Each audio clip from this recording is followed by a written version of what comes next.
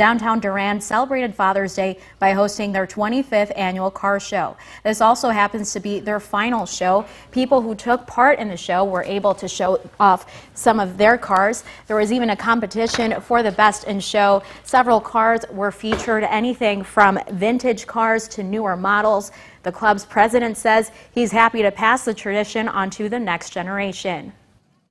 I started in this club the year after my dad passed away of cancer, the day after Father's Day. So it, that I guess why I'd be the happiest with this is I'm thinking about my dad, but I've also got my oldest grandson with his pickup truck here now. My son's been here, uh, my family's here, and all my friends are here.